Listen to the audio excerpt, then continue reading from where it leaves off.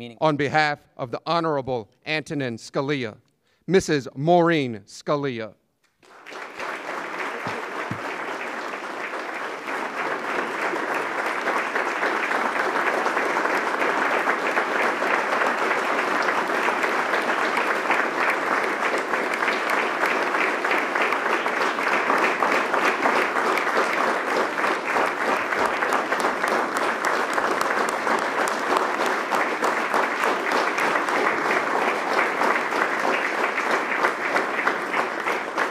Dr. Miriam Adelson.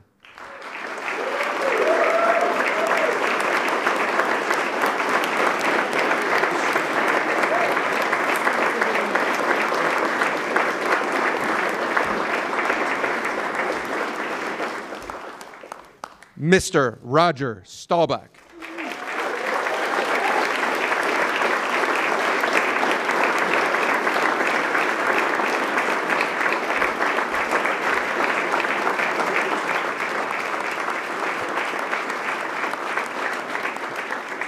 The Honorable Alan C. Page.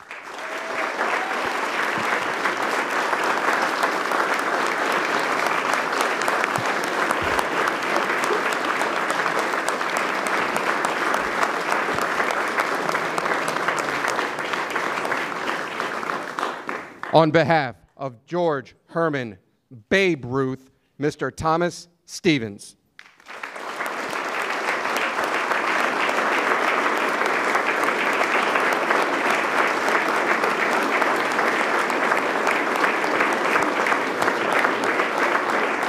On behalf of Elvis Aaron Presley, Mr. Jack Soden.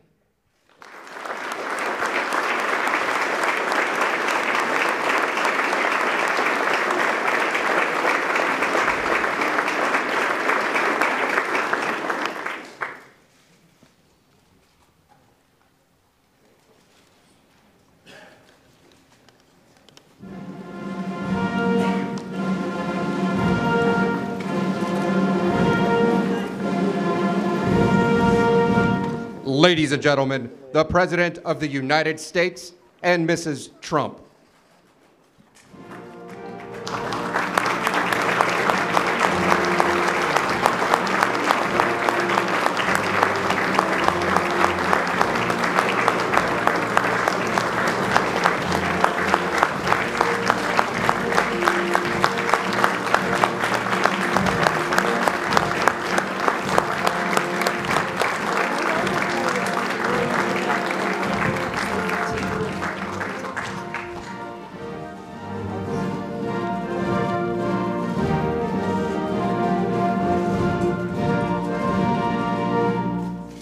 Thank you very much. Please. It's a great honor. Melania and I are thrilled to welcome you to the White House as we honor the recipients of our nation's highest civilian honor, the Presidential Medal of Freedom. Something very, very special. We're joined today by many members of my administration, including Secretary of State Mike Pompeo. Hello, Mike. Steve Mnuchin. Steve, thank you very much. Wilbur Ross. Alex Acosta. Matt Whitaker. Matt. Ben Carson. Betsy DeVos. Administrator Linda McMahon.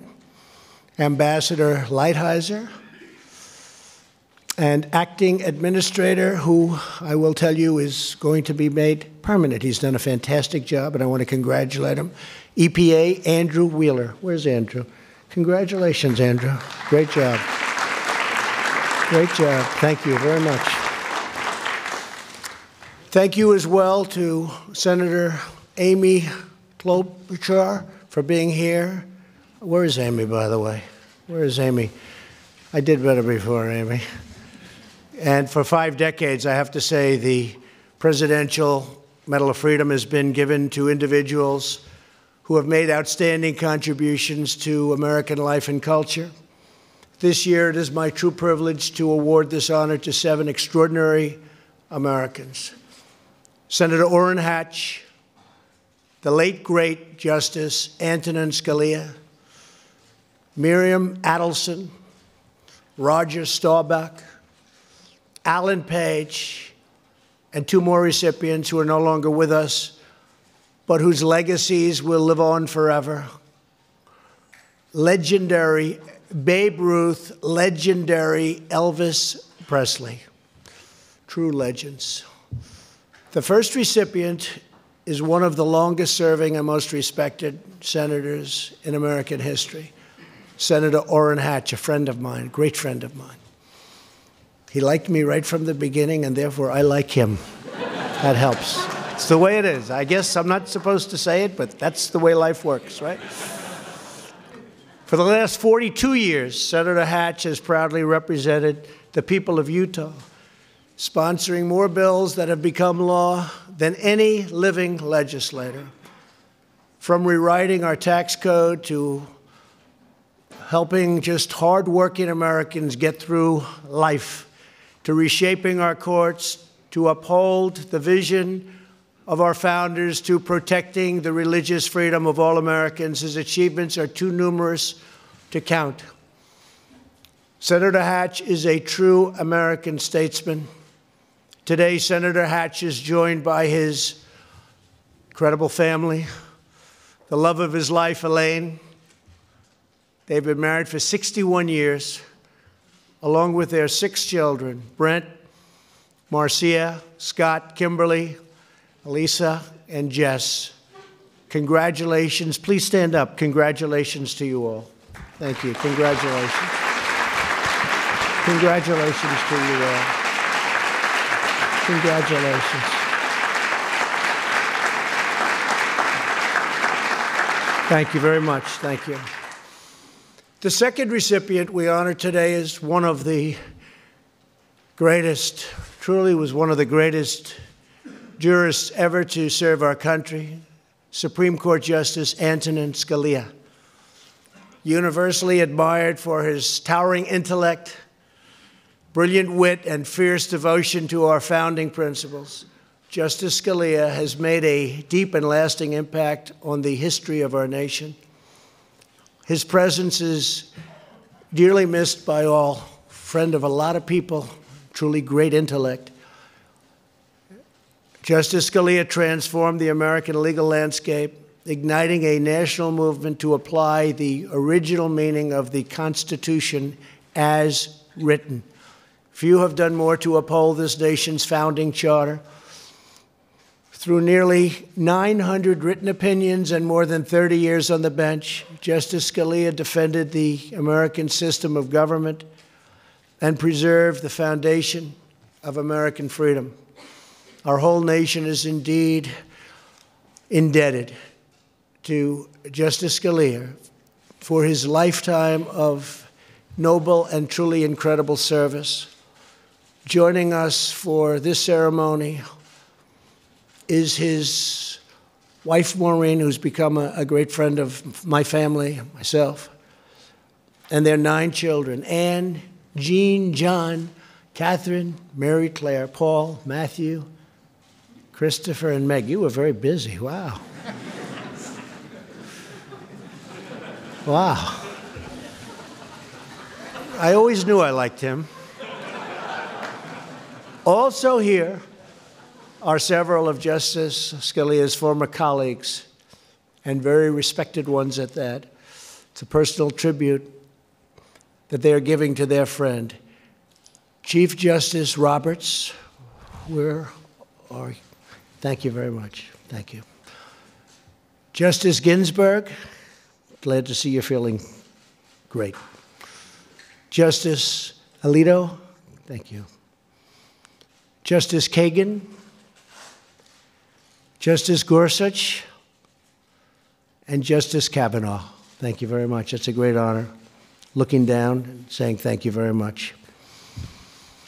Our next Medal of Freedom recipient is a renowned philanthropist, somebody who's worked so hard, doesn't have to do it, but she does. 24 hours a day, this is what she does. Miriam Adelson. A medical doctor, Miriam has dedicated her life to fighting addiction, something we're all becoming all too familiar with. Through decades of innovative research, philanthropy, and treatment, Miriam has helped thousands break free from their addiction to drugs and to alcohol. In 2006, Miriam and her husband Sheldon, who's with us today, thank you, Sheldon, established the Adelson Medical Research Foundation to prevent, reduce, or eliminate life threatening diseases. To protect the sacred heritage of the Jewish faith, Miriam and Sheldon have supported Jewish schools, Holocaust memorial organizations, and helped Jewish Americans visit the Holy Land.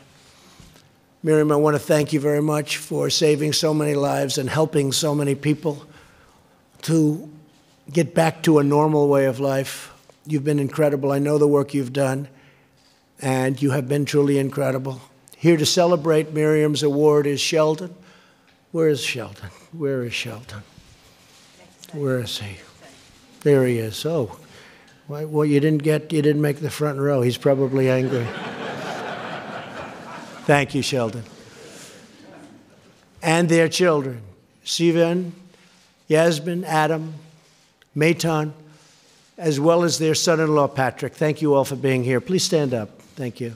Thank you very much. Congratulations. Congratulations.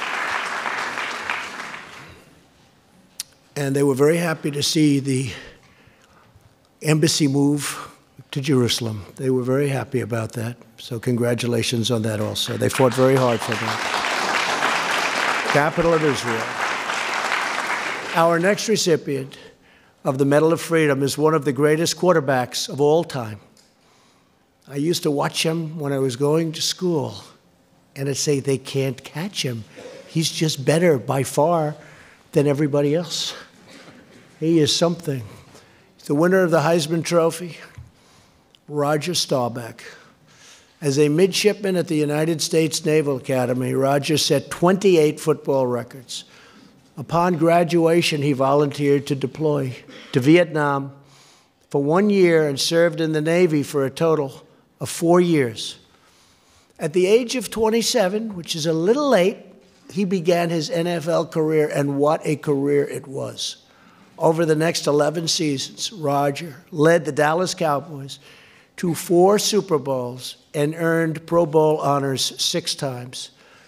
His exceptional talent earned Roger a place in both the College Football Hall of Fame and the Pro Football Hall of Fame. And I have to tell you, I had a golf match where Roger was my partner and we were in deep trouble. And Roger was also in deep trouble. He was so deep in the weeds that you wouldn't believe it. And we desperately needed a par on the 18th hole to win. And he came out and hit his shot. I don't know how it happened, but he was this far from the hole. We got our par, we won. And I said, That's Roger Staubach. I hope you remember that, Roger. That was quite exciting. Roger and Marianne his wife of 53 years, have generously supported thousands of Americans in need, including students, military families, and our truly great veterans. So helpful. Roger, you inspire Americans across the country to work hard, dream big, and always push on to victory. Roger became a great financial success, very successful businessman after his football career. His family is with us for this special ceremony Marianne and their five children Jennifer, Michelle, Stephanie, Jeff, and Amy. Please stand up, please. Please stand up. Thank you. Thank you very much. Thank you. Thank you very much. Our next Medal of Freedom recipient is American football legend, and he was indeed a legend. He was tough, strong. A Minnesota Supreme Court justice. He became a Supreme Court justice also. He's only nervous with all of these U.S. Supreme Court justices. Justice Alan Page, a very special man. a college football Hall of Famer. Alan helped Notre Dame secure the national championship in 1966. He went on to have a 15 year NFL career with the Minnesota Vikings and the Chicago Bears. He became the first and one of the only defensive players to earn the league's MVP award. That happens very, very seldom. While Alan was still playing for the Vikings, he went to law school and earned a law degree from the University of Minnesota Law School. In 1993, he became the first African American justice on the Minnesota Supreme Court, where he served for more than two decades. That's very impressive. What do you think? That's a very impressive job. Really, it is. Thank you, Alan. Alan and his wife, Diane, founded the Page Education Foundation, which has provided nearly 7,000 scholarships to civic minded students. Sadly, one month ago, Diane passed away after a heroic struggle with cancer. Said to be a great woman. Alan, we know that the goodness, grace, and hope that Diane brought into our world will live on for many generations to come. She is looking down on you right now, and she is so proud with love. She is so proud of you. Alan is joined today by three of their children Georgiana, Justin, and Cami. Please stand up. Please stand up.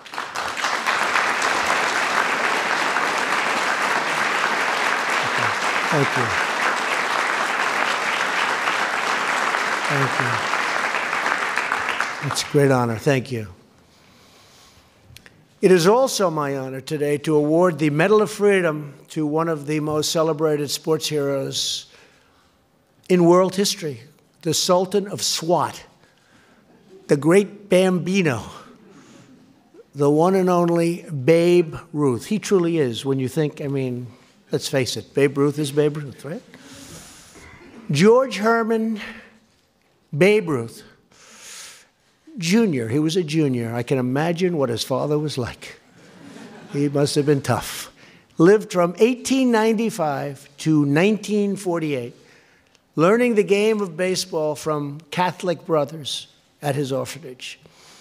At the age of 19, he was signed by the Boston Red Sox as a pitcher and soon became one of the best pitchers in baseball. People don't know that. Babe Ruth was one of the best pitchers. He still has records today. In 1920, he started with the New York Yankees.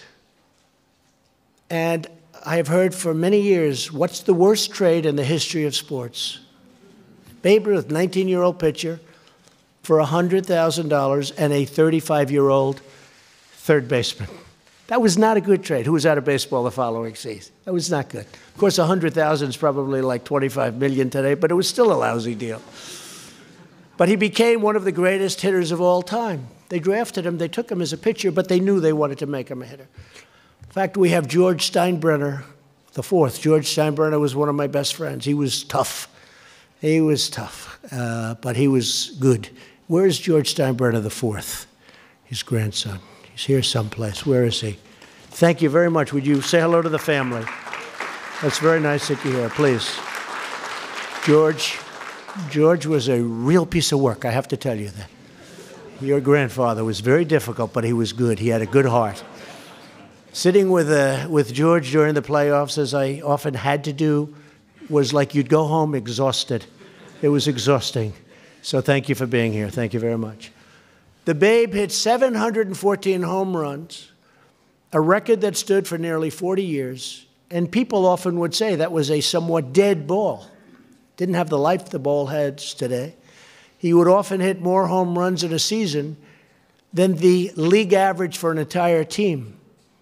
And in one season, hit more home runs than the entire American League. How do you do that?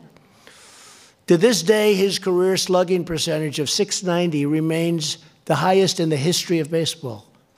Hard to believe, actually. The Babe was also known for his devotion to our nation and its children. He visited countless children in hospitals and orphanages, supported more than 100 charities, raised money and raised hell.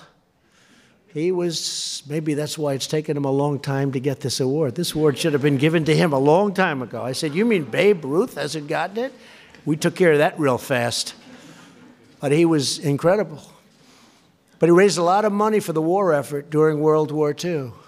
As we honor the legend who enshrined baseball as America's pastime, we are excited to be joined by a number of Babe Ruth's descendants, including his grandchildren, Donna Anilovich and Tom Stevens.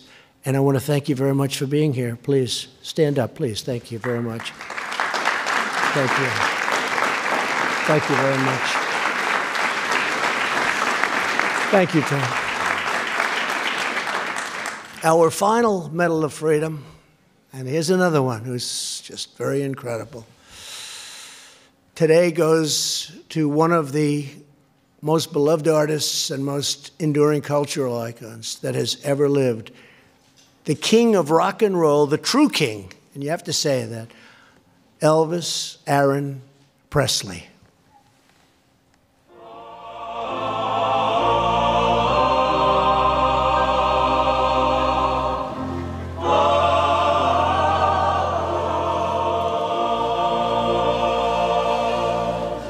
When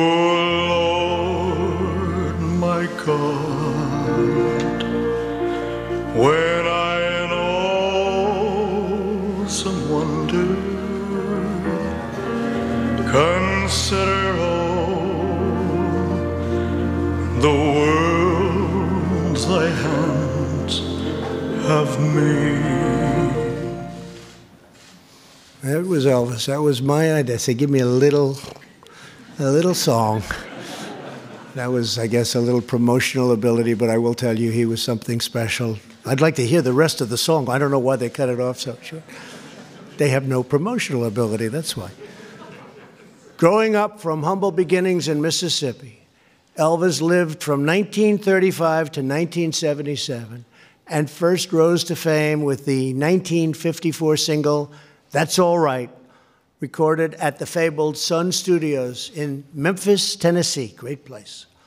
He soon skyrocketed to international stardom, recording over three decades of unforgettable hits from Heartbreak Hotel to Suspicious Minds to Burning Love. Elvis also won three Grammys for his gospel recordings, which were incredible, including his soaring live performance of How Great Thou Art. Just got to hear a little piece of. Deeply patriotic, Elvis served in the United States military at the height of his fame. He had a choice, and to him it wasn't a choice. Presley starred in more than 30 films, and his 1973 television special, Elvis Aloha from Hawaii, was viewed by more than a billion people around the world, one of the highest ever in the history of television. After redefining music in the 50s and redefining cinema in the 60s, the king, as he was known by everybody, everybody to this day, they call him the king, revolutionized live performances in the 1970s. From the moment Elvis walked on the stage to the closing chords of Can't Help Falling in Love, crowds were enraptured by Elvis's electric performances and unbreakable bond with his fans. In fact, at the end of a performance, oftentimes the fans would go so wild. I was there once in Las Vegas at the Hilton. The fans were ripping the place apart, screaming. They were going crazy. And they announced Elvis has left the house. Elvis, if they didn't say that, I think I'd still be there. Maybe I wouldn't be here. but they had to do that. Elvis has gone, Elvis has left. Today, we're glad to be joined by President and CEO of Elvis Presley Enterprises, Jack Soden. Jack, thank you very much. I want to congratulate all of this year's recipients family members and loved ones. America is blessed to have the most skill, passion, and talent anywhere on earth. We are truly a great nation, and we're a nation that is doing really, really well right now. We have our greatest economy ever. We have our greatest employment numbers ever. We're doing well. and we're proud to be doing so well. And I'd like to now ask the military aide to come forward and read the citations for each recipient of the Presidential Medal of Freedom. Thank you. The Honorable Orrin G. Hatch.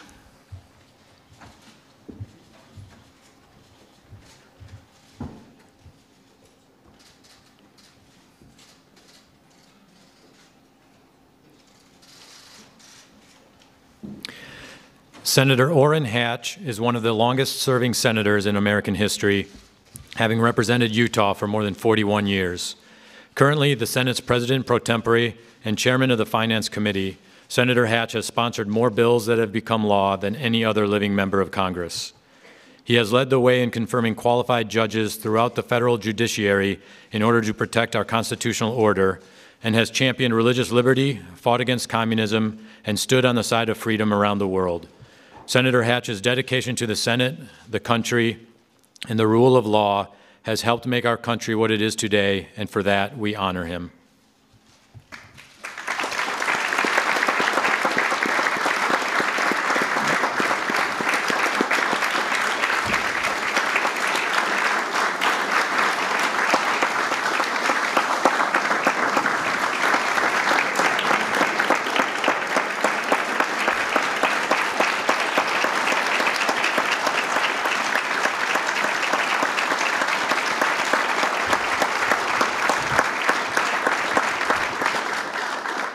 The Honorable Antonin Scalia.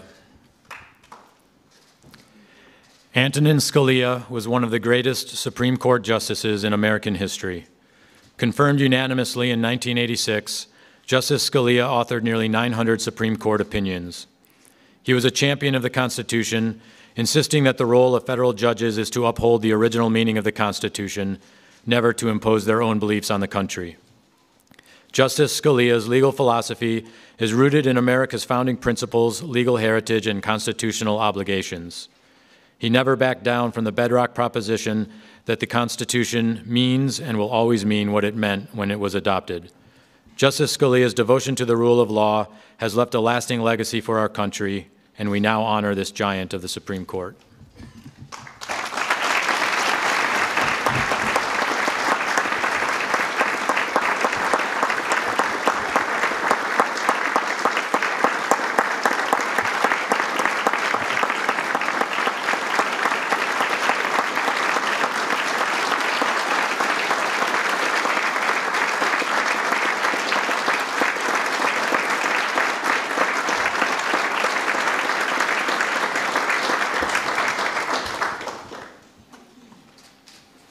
Dr. Miriam Adelson. Miriam Adelson is a committed doctor, philanthropist, and humanitarian. She has practiced internal and emergency medicine, studied and specialized in the disease of narcotic addiction, and founded two research centers committed to fighting substance abuse. She and her husband Sheldon also established the Adelson Medical Research Foundation, which supports research to prevent, reduce, or eliminate disabling and life threatening illness. As a committed member of the American Jewish community, she has supported Jewish schools, Holocaust memorial organizations, Friends of the Israel Defense Forces, and Birthright Israel, among other causes. The United States is proud to recognize Dr. Adelson for an incredible career and record of service to her community and the country.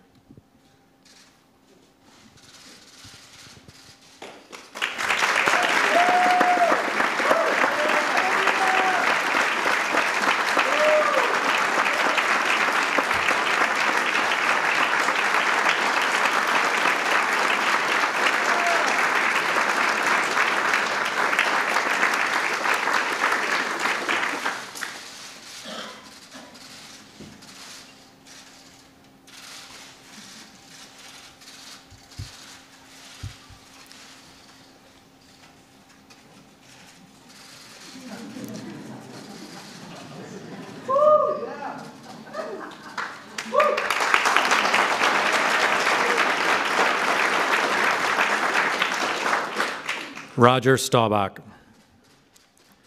Hall of Fame quarterback Roger Staubach played 11 seasons in the National Football League, winning two Super Bowls with the Dallas Cowboys and making the Pro Bowl six times. He first made his mark on football at the United States Naval Academy, where he set 28 records and won the Heisman Trophy in 1963. Soon after graduating, Mr. Staubach volunteered to fight in the Vietnam War. Following his football career, he was a successful businessman and a champion for many charitable causes, including the United Way of America, the Children's Scholarship Fund, and Allies in Service, an organization devoted to supporting service members, veterans, and their spouses. The United States now honors Mr. Staubach's life of service and accomplishment on and off the field.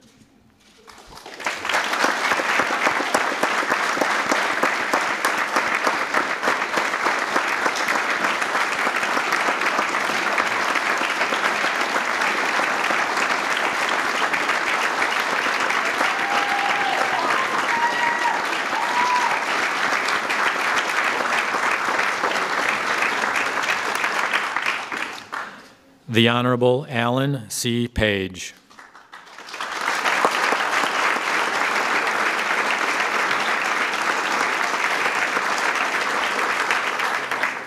Justice Alan Page is an accomplished jurist, athlete, and philanthropist.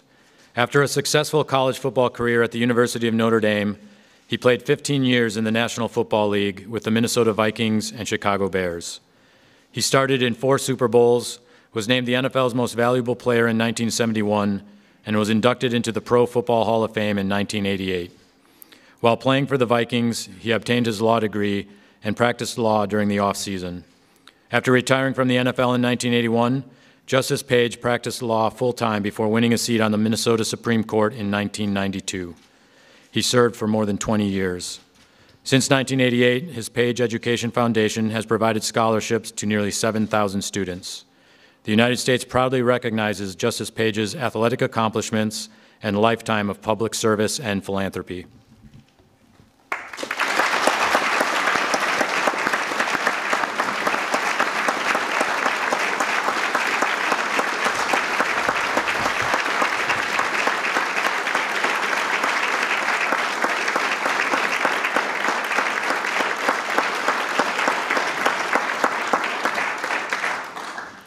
George Herman Babe Ruth Jr.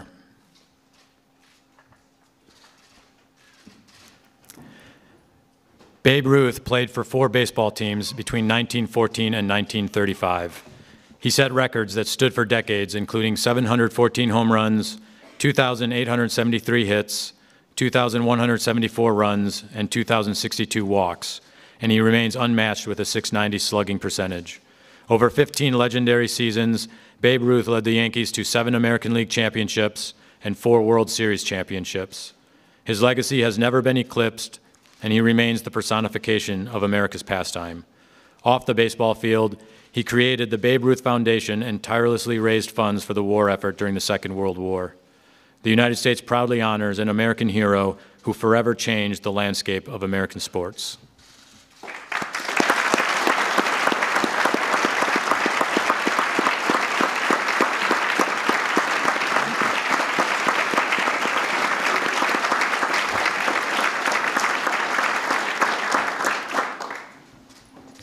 Elvis Aaron Presley.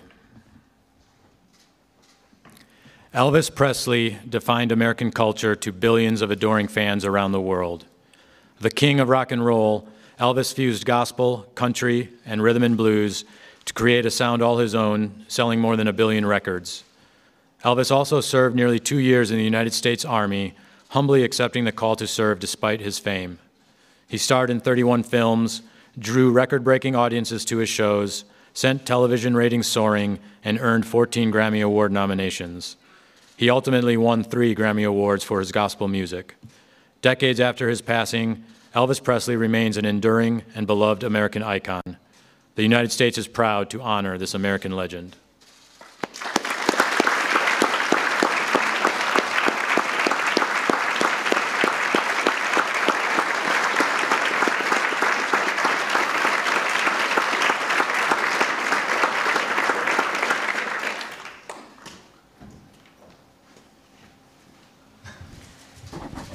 Just want to thank everybody. These are outstanding individuals. and we're so proud to have them represent us for so many years, and uh, it's a great honor to have everybody, everybody with us. And on behalf of the First Lady, Melania, myself, thank you all for being here. This has been extraordinary. Thank you very much. Thank you.